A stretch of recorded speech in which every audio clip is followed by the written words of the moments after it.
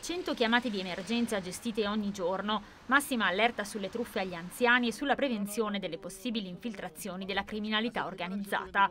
In un momento ancora segnato dall'emergenza sanitaria, il Comando Provinciale dei Carabinieri di Como traccia un bilancio delle attività dell'ultimo anno in occasione del 207 anniversario della fondazione dell'Arma. Dal 1 maggio dello scorso anno al 30 aprile 2020 le stazioni dei carabinieri di Como e del territorio provinciale hanno gestito 36.753 richieste di intervento. In un anno sono stati 344 gli arresti e 2.579 le denunce a piede libero. La pandemia ha inevitabilmente segnato anche le attività delle forze dell'ordine. L'attenzione dei carabinieri si è concentrata in particolare sui rischi legati ai problemi economici causati dall'emergenza sanitaria.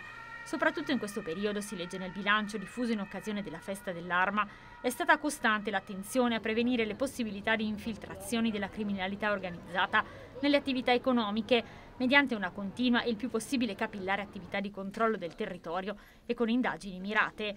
Attenzione anche sulla prevenzione alle truffe agli anziani. Le denunce presentate all'arma nei primi mesi dell'anno sono state 12, in calo rispetto alle 16 dello stesso periodo del 2020.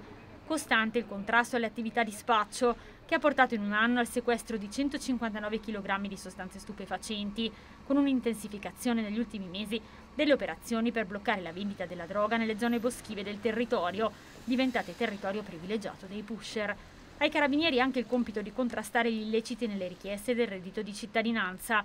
Le indagini dei militari dell'arma hanno portato alla denuncia di 43 persone accusate di aver percepito indebitamente il sussidio.